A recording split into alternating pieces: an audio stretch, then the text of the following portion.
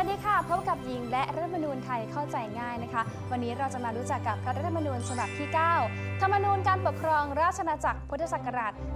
2515 ค่ะ หลังจากที่จอมพลถนอมได้รัฐประหารตัวเอง และยกเลิกรัฐธรรมนูญฉบับที่ 8 แล้วนั้นนะคะ ก็ได้เอาธรรมนูญปกครองราชอาณาจักร พศ 2502 หรือรัฐธรรมนูญฉบับที่ 7 กลับมาปัดฝุ่นใช้ใหม่อีกครั้งค่ะ เนื้อหาส่วนใหญ่นะคะ คล้ายกับฉบับเดิมค่ะ ที่ปกครองแบบสภาเดียว มีสมาชิก 299 คนนะคะ อยู่คราวละ 3 ปีค่ะ รัฐมนตรีมีอำนาจเบ็ดเสร็จมีการระบุไว้ในมาตรา 17 นะคะข้าราชการประจำสามารถที่จะมีตำแหน่งในคณะรัฐมนตรี หรือว่าสภานิติบัญญัติแห่งชาติได้ แต่ว่าสภานิติบัญญัติในยุคนี้ สามารถตั้งกระทู้ถามนายกในสภาได้นะคะ ซึ่งต่างจากของเดิมในฉบับที่ 7 ค่ะที่ไม่สามารถถามได้ค่ะ อำนาจการปกครองในยุคนี้ค่ะ อยู่ในมือของจอมพลถนอมและเครือญาติ นั่นก็คือจอมพลประพาสและพันเอกนรงกิติขจร ที่เป็นลูกชายแท้ของจอมพลถนอม และก็เป็นลูกเขยของจอมพลประพาสด้วยค่ะ เมื่อประเทศกลับสู่การปกครองแบบเผด็จการอีกครั้ง รัฐธรรมนูญที่ใช้เวลานานกว่า 10 ปี กว่าจะประกาศใช้แต่ว่าถูกยกเลิกไปง่ายๆค่ะก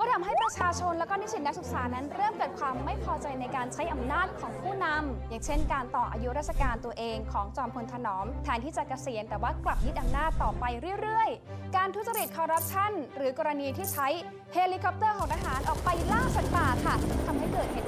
ครั้งใหญ่ 14 ตุลา 2516 ที่มีผู้เข้าร่วมชุมนุมเรียกร้องประชาธิปไตยมากกว่า 500,000 คน เกิดการปะทะกันอย่างรุนแรงระหว่างเจ้าหน้าที่รัฐและประชาชน มีผู้บาดเจ็บและเสียชีวิตจำนวนมาก เหตุการณ์ดังกล่าวนะคะก็ทำให้ถนอมประภาสณรงค์เดินทางออกนอกประเทศ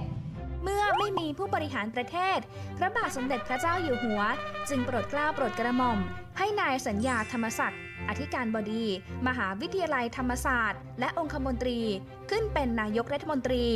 โดยมีเป้าหมายเพื่อร่างรัฐธรรมนูญฉบับใหม่ ให้เป็นประชาธิปไตย และเปิดโอกาสให้ประชาชนมีส่วนร่วมมากที่สุดค่ะ และนั่นนะคะก็คือจุดสิ้นสุดของรัฐธรรมนูญฉบับที่ 9 ธรรมนูญการปกครองราชอาณาจักรพุทธศักราช 2515 ที่บังคับใช้มา 1 ปี 9 เดือนกับอีก 21 วันค่ะ คุณกำลังชมรัฐธรรมนูญไทยเข้าใจง่าย คุณสามารถติดตามข่าวสารจากไทย PBS ได้ผ่านทาง Facebook Twitter และอย่าลืมติดตามได้ทาง YouTube ตั้งแต่ตอนนี้เลยนะคะ ช่วงนี้หญิงลาไปก่อนค่ะ สวัสดีค่ะ